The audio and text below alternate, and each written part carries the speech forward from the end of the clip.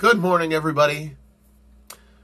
It's another day, but here we're going to do something different, just for fun. I want to read you one of my favorite childhood stories. It's called Frog and Toad Are Friends, and it's in four parts, so we'll get part one today. Here we go.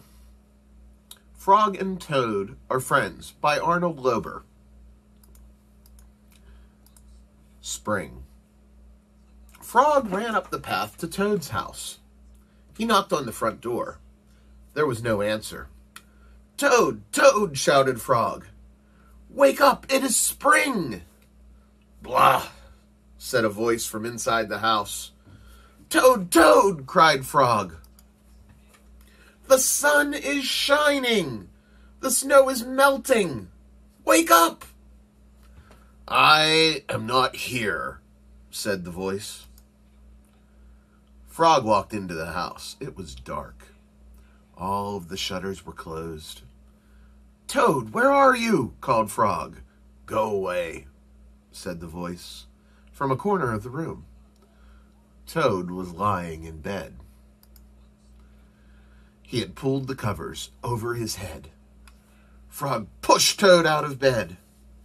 He pushed him out of the house and onto the front porch. Toad blinked in the bright sun. Help, said Toad. I cannot see anything.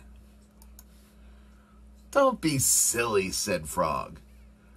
What you see is the clear, warm light of April.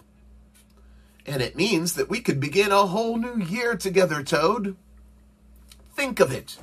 We will skip through the meadows, we will run through the woods, and swim in the river. In the evenings, we will sit right here on this front porch and count the stars. You can count them, Frog, said Toad. I will be too tired. I am going back to bed.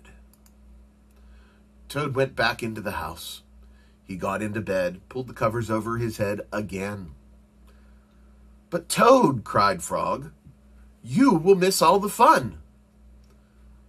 Listen, Frog, said Toad. How long have I been asleep? You have been asleep since November, said Frog.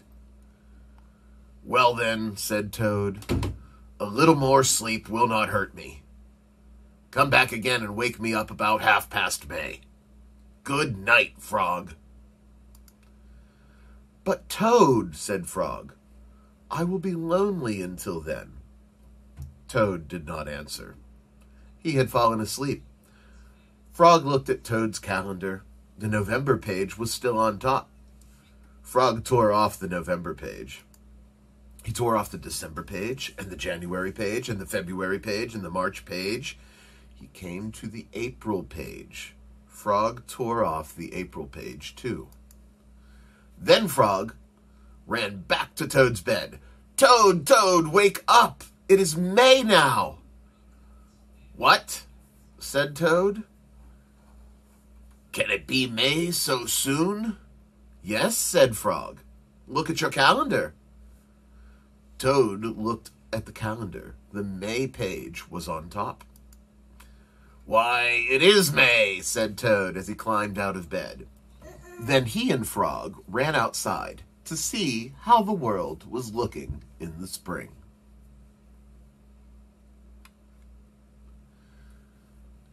I hope you enjoyed that. I kind of always liked Toad, but you probably already guessed that. I'll see you guys soon.